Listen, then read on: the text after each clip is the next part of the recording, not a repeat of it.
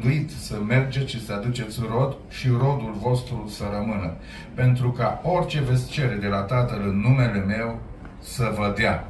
Vă poruncesc aceste lucruri, ca să vă iubiți unii pe alții. Amin.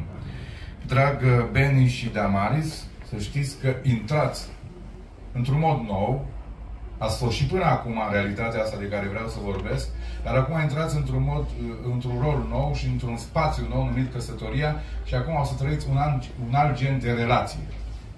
Dar, trebuie să vă spun că întotdeauna copiii lui Dumnezeu, care ajung în pasul ăsta de a intra în viața de familie, în căsătorie, au un avantaj foarte mare în raport cu orice alt om. Pentru că ei de aceea Iisus Hristos și Pavel și toți au zis că căsătorie trebuie făcută în Domnul.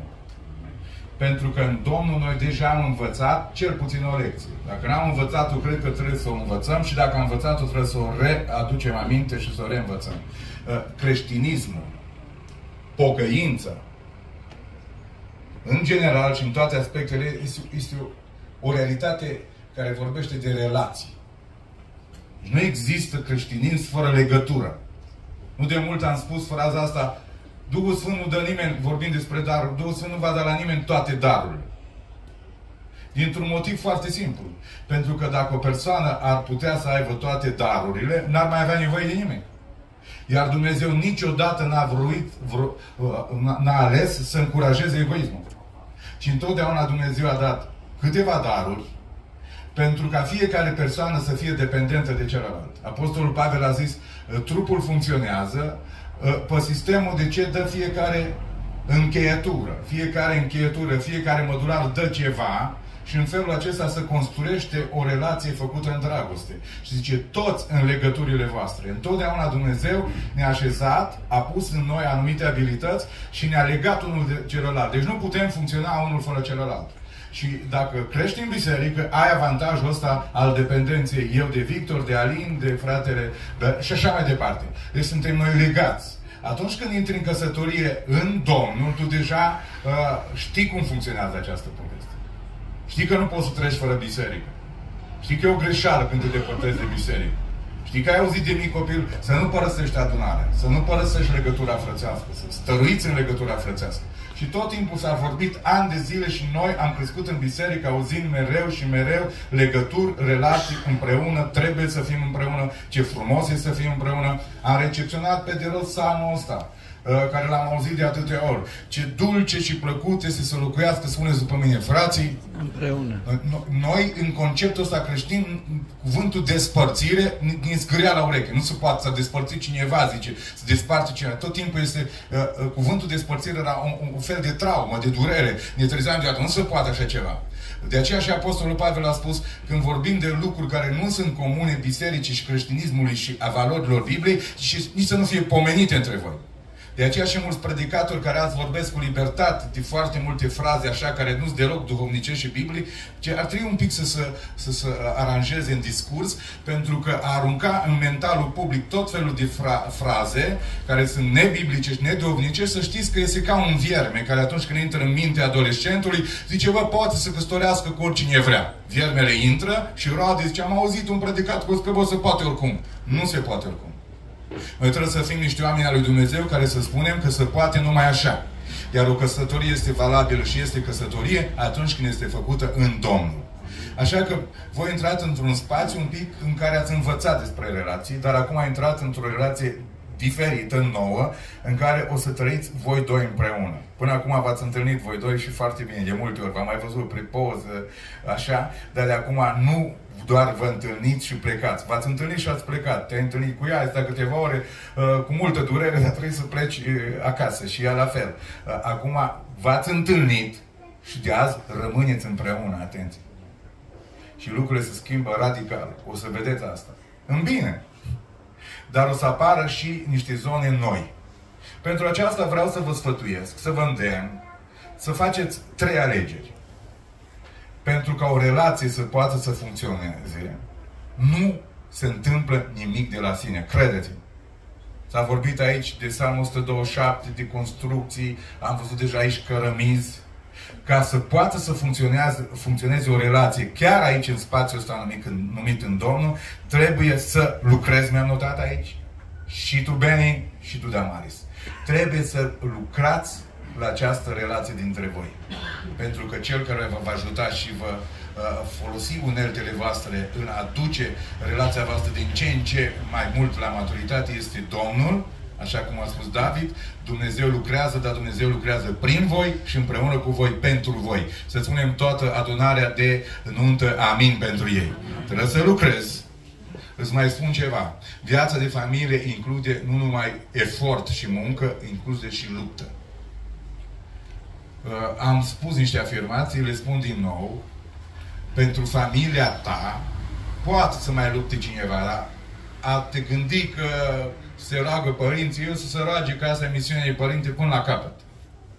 Că păstorii suntem cu ochii pe voi și vrem să vă uh, sprijinim și o să vă pomenim în rugăciuni și să ne rugăm frecvent pentru familie, este foarte adevărat. Dar asta e prea largă. Și prea generală uneori. Luptele voastre vor fi particulare, pe care noi nu o să le știm. Nici părinții voștri nu o să le știe, dar voi o să le știți. Pentru familia ta, bine, ascultă-mă, tu trebuie să lupți. O să ai momente în viață, dar să, să nu te dărâmi atunci. Când vei afla că pentru familia ta nu luptă nimeni decât tu. Și viața de familie înseamnă și include și luptă. Luptă și efort. Cu două săptămâni în urmă am spus viața de familie care este ca un juc la care spune Apostolul Pavel și am vorbit de jucul nu nepotrivit, că acolo e dezastru. Eu am vorbit de jucul potrivit și și în jugul căsniciei potrivit sunt momente în viață în care apar niște probleme atât de complicate încât din punct de vedere omenesc este aproape imposibil să mai scoți uh, carul încărcat cu probleme din, din spațiul ăla și din locul ăla. Și atunci e nevoie de un efort supraomenesc. Și e nevoie de doi luptători. Nu aș vrea să ajungeți acolo. Dar dacă ajungeți, să vă aduceți aminte că în ziua anunții, Gabi Zăgrean, pe care tu îl stimezi, Uh, și da, Maris, la fel, am simțit asta, v-a spus că atunci când vin momentele astea grele, este nevoie de un luptător și o luptătoare. Dacă ne întoarcem noi în surații și măritatele, cum spun eu, uh, după 28 de ani, după 27 de ani, după mulți alți ani, care sunteți dumneavoastră poate cu mai mulți ani, vă spun că momentele astea au fost, le-am trăit și a trebuit atunci să îngenunchem ca să scoatem carul căsniciei de unde trece câteodată din voi adânci și să mergem mai departe. Dar cel care ne-a ajutat, de aia suntem aici, suntem zâmbăreți și fericiți și putem să afirmăm să nu vă temeți, pentru că cel care este cu voi vă va ajuta în toate aceste momente. Dar niciodată stând cu mâinile în sân nu se rezolvă problema, și avem atâtea familii care nu mai vor să depună niciun efort. Am zis, bă, dar luptă pentru casa ta, luptă pentru copiii tăi. Nu de mult am fost într-un oraș numai de conspiră acum și am întâlnit uh, un uh, fost soț, că de acum au plecat într-o parte și în alta cu copiii lui, cu patru. Deci au venit să mă salute. Nu am putut să cred, nu am putut să înțeleg, bă, dar nu ești gata să lupți la un moment dat pentru cea de lângă tine și dacă mai vezi și patru copii ca îngerii, frumoși, perfecți. Deci mi s-a frânt inima în mine că nu aveam legătură directă cu pruncea. În fine. Viața de familie nu sta, înseamnă asta cu mâinile în sân, înseamnă să lupți și să lucrezi pentru asta. Un al treilea lucru care vreau să vă spun, trebuie să ai o dorință foarte mare pentru treaba asta. Și ca să faci toate celelalte trei lucruri, toate aceste trei lucruri consumate, ai nevoie de timp. Și aici mă îndrept spre fiecare dintre noi. Am făcut de multe ori greșeala de cel mai puțin timp am acordat vieții de familie. Am acordat timp pentru multe lucruri. Am acordat timp pentru multe persoane.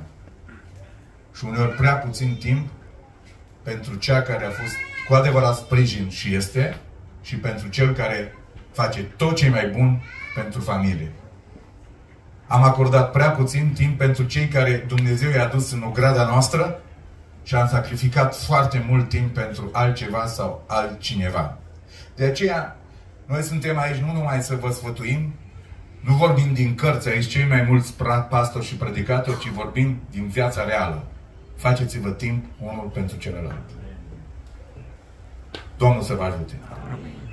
Prima cărămidă în tot efortul ăsta pe care trebuie să-l faceți și pe rog pe care vreau să o puneți acolo în construcția familiei voastre, este, vă rog din toată inima, Beni și Damaris, auzim și noi toți restul, vă rog să fiți sinceri, să fiți transparenți și să trăiți o viață în care, în relația voastră, să vă destăinuiți unul celălalt. Dragostea se destăinuie întotdeauna. Îmi scriu mulți oameni ca nouă tuturor și îmi spun, nu știu ce să fac, zice, e ceva, o problemă în familia noastră. Dar cum ai sesizat-o? Și primul gest care mi l-a spus persoana asta, care l-a văzut la tovarășul de viață, sau tovarășa, nu contează aici, este, zice, își ascunde telefonul. Deci când intru în cameră, primul lucru, prima acțiune pe care o face este să fie atent dacă telefonul e blocat. Zice, primul sentiment de frustrare care îl am este că el sau ea ascunde ceva. Una din netransparențele noastre este atunci când soția sau soțul nu au acces la telefonul tău sau la invers. Deci atunci când avem telefonul parolat față de nevastă, dați-mi voie să spun că suntem pe lângă Biblie odată și acolo este ceva care nu trebuie să fie. Păi dacă ne parolăm telefonul, atunci ce facem cu inima? Nimic n-a distrus relațiile mai mult decât aceste ascunzișuri, aceste lipsă de transparență și o viață de familie în care s-au adunat o grămadă de secrete. O grămadă de secrete. Și nu știe nevastă mea, vreau să spun ceva. Fals! Periculos! Deci, dacă cineva trebuie să știe cu adevărat, dincolo de taina care este slujirea, care vreau să o închid aici, care e spovedania sau mărturisirea, care nu trebuie să o împărtășim cu nevasta, ca și slujitori, dar în rest, ceea ce interesează familia și viața noastră, uh, cred că soția trebuie să știe. De aceea vreau să vă construiți această relație de pretenie, de intimitate, cu o sinceritate absolută. Și noi spunem pentru voi amin. amin. Și asta nu o culeg din cărți. O culeg din Biblie odată. Că Dumnezeu n-a pretins niciunul din prietenii lui și a avut prieteni mari Dumnezeu. Cum este Avram. Când a vrut să nimicească Sodoma și Gomora, e scris exact așa în Biblie, zice să ascund eu de prietenul meu ce am să fac? Să ascund eu de prietenul meu că o să uh, judec Sodoma și Gomora, n-am să fac asta. Și atunci îl întâlnește pe Avram și Avram, uite ce vreau să fac, vreau să distrug cetățile astea. Nu o să ascund el treaba asta. Și atunci Dumnezeu s-a destăinit lui Avram. Dumnezeu, prea binecuvântat să fie numele Lui, care nu are nevoie de nimic, a zis, bă, o prietenie trebuie să funcționeze în destăinuire. El este Dumnezeu, țineți minte. Nu o să fii niciunul Dumnezeu niciodată, nici tu, nici eu. Dar Dumnezeu care spune adoră, n-are nevoie de nimic din afară de El însuși, a spus, vreau să povestesc cu Avram de ce am de gândit. Vreau să-i povestesc. Până și astăzi, Dumnezeu când vrea să facă ceva, povestește cu prietenii săi. Descoperă prin Duhul Sfânt ce vrea să facă. Dumnezeu se prezintă în adunare, Dumnezeu se prezintă în inimile noastre, ne spune, vreau să judec asta, vreau să fac asta. Pentru că Dumnezeu ține la această relație și ține la o dragoste reală și dragostea reală înseamnă destăinuire. Și a spus lui Avram și de acolo a început o negociere între Avram și Dumnezeu până la 10 și N-am mers mai departe, dar am zis, Doamne, dacă sunt 10, dacă sunt 10, rămâne Sodoma și Gomora în picioare. Dar vă dați seama, și atunci ca și astăzi, câți puțini oameni adevărați sunt, 10 persoane, sunt 3 bănci de aici. Și nu s-a găsit în Sodoma, Gomora, un grup de 10 persoane ca să fie în picioare. De aceea, câteodată, oamenii de calitate se găsesc greu. Bine că v-ați găsit voi unul pe celălalt. Laudă Domnului. De acum, ceilalți tineri și tinere, uh, duceți bătălia mai departe, dar să nu fiți îngrijorați că tot se aruncă pe piață tot felul de statistici că o să ajungeți la mănăstiri, nu o să ajungeți la mănăstiri. Țineți minte, Dumnezeu se îngrijește de noi, pentru că Dumnezeu binecuvântează pe fii și fiicele Lui și spuneți cu toții Amin. Amin. Deci, uh, Avram, David, Moise, ca să vă zic câțiva, Isaia, uh, apostolii, tot timpul Dumnezeu și Hristos a făcut când a venit același lucru o să merg la cruce, o să se întâmple asta, o să, iau, o să fiu vândut, o să fiu bătut, o să fiu uh, luat, o să se întâmple asta, mâine dimineață o să se întâmple asta, când o să fiu, tot timpul Iisus Hristos a destănit, tot, tot timpul le-a spus tot felul de lucruri, a spus, v-aș pune mai multe lucruri, dar nu aveți putere să le purtați, nu aveți capacitate, dar dragostea tot timpul să destăinuie. Vă dau, uh, tu știi Biblia, dar e foarte bine dacă o știi, că la un moment dat în capitolul 13 din Ioan, uh, Iisus Hristos s-a turburat în sine în timp ce stătea la masă și a zis, s-a întors spre și a zis, unul dintre voi mă va vinde. Și odată așa o, o lovit toată atmosfera uh, fraza asta. Și Petru, un om curios, care tot timpul la comanda, a vrut să știe cine e vânzătorul. Toți am fi fost curioși. Dar el era omul curajos. Și uh, o văzut, bă, eu sunt curajos, dar nu sunt atât de apropiat și în intimitate de Isus și o să apelez la unul care reprezintă acest punct al predicii de dragostea. Unul care s-a dus și fizic foarte aproape de Isus Hristos. Atât de aproape s-a dus cu Isus Hristos că, bă, era în toată firea, dar era ca un copilaj, că întotdeauna dragostea dă așa o figură de copii. Și unii care vor să fie așa foarte bărbați, uh, disbracă de dragoste și pierd. Lasă-vă să fiți așa mai, mai copilandri. Și prin gesturi. Lasă-vă, nu fiți așa de bărbați încât să vă țineți nevasta la 50 de centimetri, să nu vă înconvoie nimeni. Lăsați orgoliu și chestiunile astea care n-au nicio valoare, credeți-mă. N-au nicio valoare. Cel puțin pentru mine n-are nicio valoare treaba asta. Fiți și bărbați așa mai copii câteodată, mai, mai pupați vă nevasta chiar pe stradă, așa câteodată când vă vine momentul ăla. Nu țineți la imaginea asta imaculată care uh, chiar la treaba asta nu trebuie să țineți. Cred că la alte lucruri trebuie să ținem. Nici nu trebuie să o faceți intenționat, dar dacă sunt momente așa. Și știi, bă, eu am luat dragoste așa deodată față de Domnul și știți unde s-a pus capul? Spuneți unde? Pe pieptul lui Iisus Hristos. Și au pus așa ăștia iconografie, au preluat toți treaba asta. Deci nu au văzut-o, dar din scris. Și l-au pus pe Ioan așa, bă, el e ucenic cu iubire, el e cu dragoste, el e cu asta. Dacă și-a pus tâmpa pe pieptul lui Iisus, băi, aude inima lui Iisus Hristos cum bate. Bă, zice Petru, Petru deștept, om. O știut, bă, dacă ăsta care stă pe inima lui Iisus, cred că au auzit din inima acolo cine e vânzătorul. Și au zis, eu făcut semn lui Ioan, zic, și întreabă cine e. Deștept. Pentru că întotdeauna Ioan, uh, Petru a tras concluzia că în dragoste nu sunt secrete. Că nu este telefonul codificat. Și spui, păi am spune, dacă nu...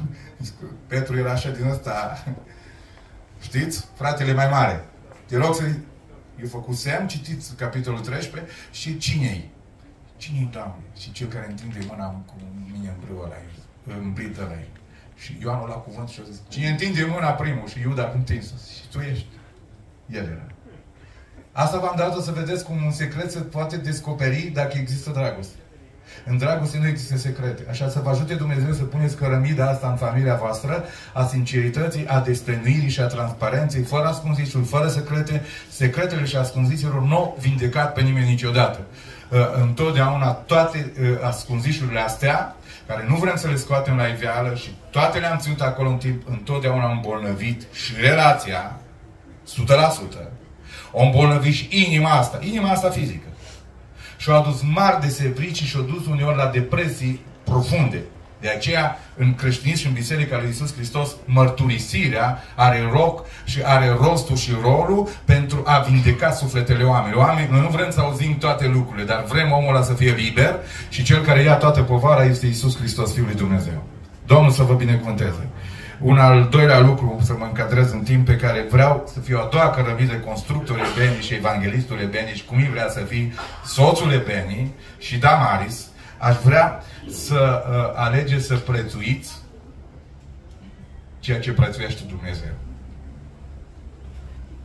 Dacă ne întrebați pe noi ca și pastori de ce câte răni avem în suflet și cum ne uităm cu durere la multe familii care se distramă sub ochii noștri, care au zis vorba unui pastor care l-am auzit predicând la foarte frumos, au zis, și mi se pare atât de dureros că atunci când i-am întrebat pe tine ăștia că se iubesc, au zis că nu ne interesează nimic numai dragostea. Ne iubim maxim. Maxim.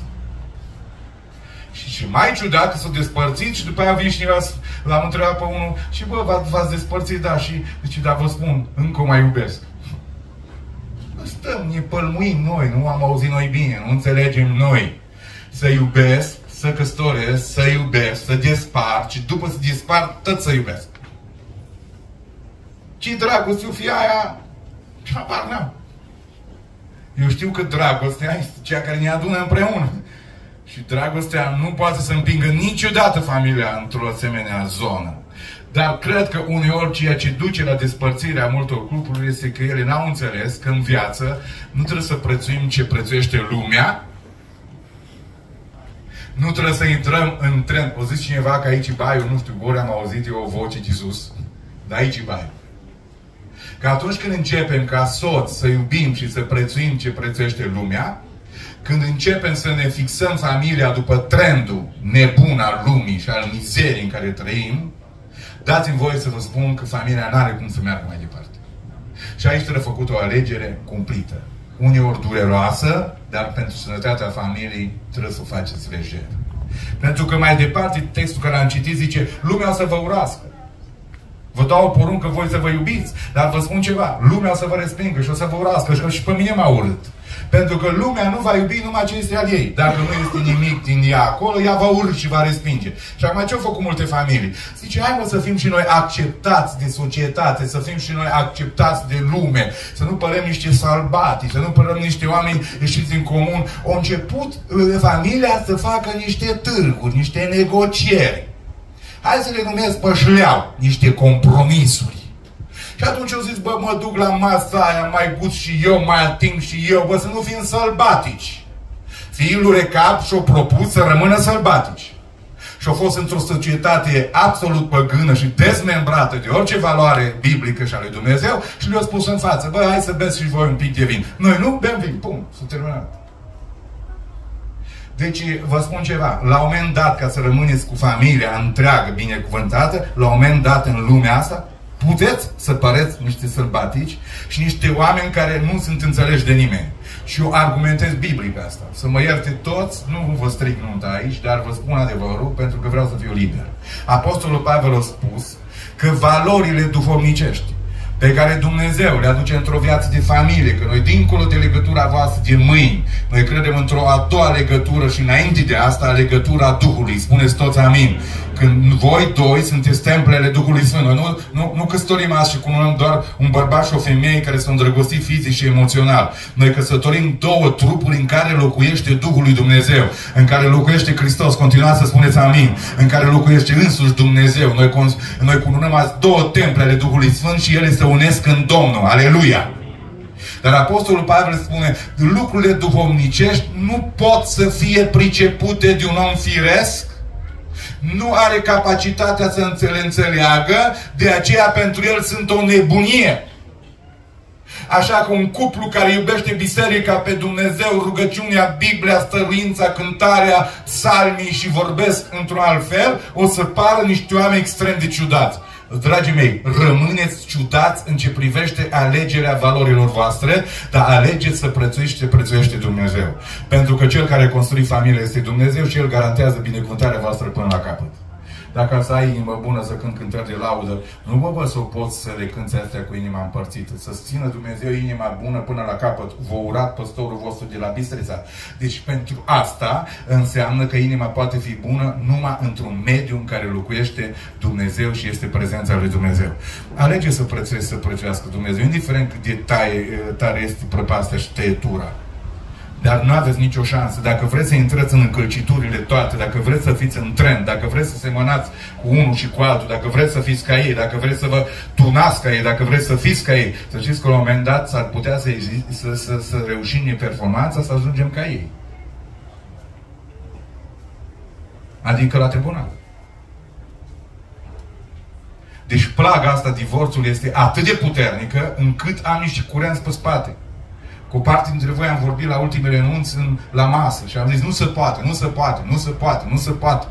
Ajunge să ne punem mâinile în cap. Eu nu vreau să mă învăț, ferească-ne Dumnezeu vreodată să zicem, să începem să acceptăm, bă, n-ai ce face, asta e viața. Asta e viața când nu faci ce trebuie. Dar vă spun toți care suntem căsătoriți aici, pentru cei mai tineri care sunteți aici căsătoriți, care sunteți aici multe cupluri.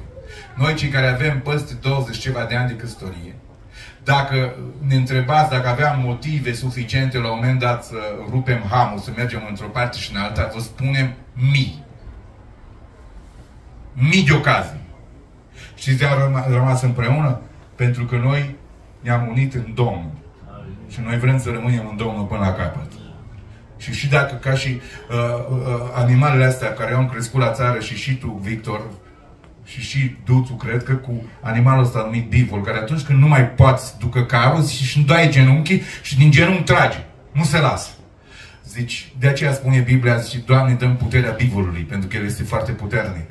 Vă rog să prețuiți ce prețuiește Dumnezeu, dar asta va fi o alegere. Va fi o alegere a voastră. În multe conjuncturi ale vieții, zice, vă, mă duc pe aici sau mă duc încolo. Fac asta sau fac, fac asta. Nu suntem perfecți. Cred că și noi am mai făcut niște mici compromisuri. E fiecare dată mi-a părut rău de ele. Știu că eram mai tineri atunci și soția mea, Dumnezeu să o binecuvânteze, care este aici, nu-i place să vorbesc despre ea, dar mai ierta astăzi. La nuntă, în general, iertăm tot. Mi-a spus de multe ori că au, au soție și da mare sare asta. Toate femeile au asta. Au niște senzori foarte buni. Dați de Dumnezeu. Și simt imediat pericolul. Este ca la miros de gaz. Numai piuie imediat. Și senzorii de la mașină. Așa e nevasta, are senzori. Și tot timpul spune, vezi că ai luat-o la dreapta prea tare. Noi bărbații nu vrem să recunoaștem, cel puțin pe loc niciodată, dar hai să recunoaștem peste trei ore. Că nu-i bine unde am mers, că nu-i bine cum am, ne-am comportat, că nu ne-am dus pe unde trebuie și nu trebuia să stăm unde trebuie. O piuit. Orgolul tău de bărbat care l-ai și tu, Benny, când piuie să știi că e un semnal bun. Și nici compromisul pentru toate ne-a părut rău. Nu m-a ajutat niciodată niciunul din momentele alea când am vrut să fiu și eu, când o tânăr reproșa, zic, a, nu vă mai dați așa sfinți, hai și voi aici, frate. În fiecare dată când am vrut să mă dau nesfânt, chiar am reușit. Dar când ești nesfânt, ești nesfânt. Și cum rezolvi problema? Să te rogi, Doamne, te rog, iartă-mă. Și am ajuns la un punct, odată în viață, Victor și colegii mei, când am zis următoarea concluzie. Deja aici e o maximă. Nu cred că eu am inventat și am zis, bă, dacă după fiecare loc unde te-ai dus trebuie să vii acasă să-ți ceri iertare Domnului, cred că nu mai trebuie să mergi.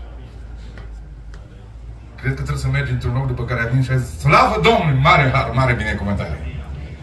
Slavă lui Dumnezeu. Așa că, Victor, ori de câte ori ne-am întâlnit, niciodată n-am zis, Doamne, iartă-mă ce am zis, Doamne, fii lăudat. Amin. Așa că v-am dat exemplul ăsta cam așa să faceți alegerile. Ca finalul să fie o, o nu, ceea ce invers. Nu o să reușiți din prima, dar Dumnezeu să vă ajute. Și ultimul lucru care l-am spus, uh, vreau să-l spun și închei, este, deși voi ați dat timp mai mult, dar mă opresc că nu trebuie să consumăm și plusul care ne-l da și Victor. Uh, vă rog să vă doriți această legătură a voastră pe care o simțiți în inimă, să o doriți atât de tare încât să fie pe primul loc și să fie mai mult decât orice altceva. Nu vă lăsați niciodată viața voastră de familie la capătul cozii. Doriți ceea ce Dumnezeu v-a spus până aici și o să vă mai spună, să vă doriți mai mult decât altceva. Eu știți că atunci când vin momentele grele în viață, cum am spus și eu cuiva, am zis, bă, când am trecut prin momentul ăla, ascultă-mă, Alima, am zis până la poartă să mă uit câți oameni vin să mă ajute să mă încurajeze. Știți că am avut surpriza că nu era nimeni pe stradă. Nici măcar unul a trecut atunci să meargă după lapte. Dar persoanele care au fost întotdeauna lângă mine, întotdeauna este familia ta. Ea este lângă tine. Ea este acolo orice vânt bate. Așa că este corect să dorești cel mai mult să lupți pentru cea și pentru cel de lângă tine, să vă iubiți unii pe alții și ai nevoie și de tineri de ăștia foarte zâmbăreți. Cât de lacrimi plină lumea asta. Să rămâneți cu zâmbetul pe față, să rămâneți veseli. Și nu știu cum vă spun, dacă după număr de ani, noi, noi suntem aici, nu, nu ne lăudăm acum nimeni, dar după număr de ani, dacă zice, dacă un bărbat poate să zâmbească când vorbește de familie, de tot ce am vorbit eu azi, și nevasta lui și la fel, înseamnă că Domnul a fost cu ei.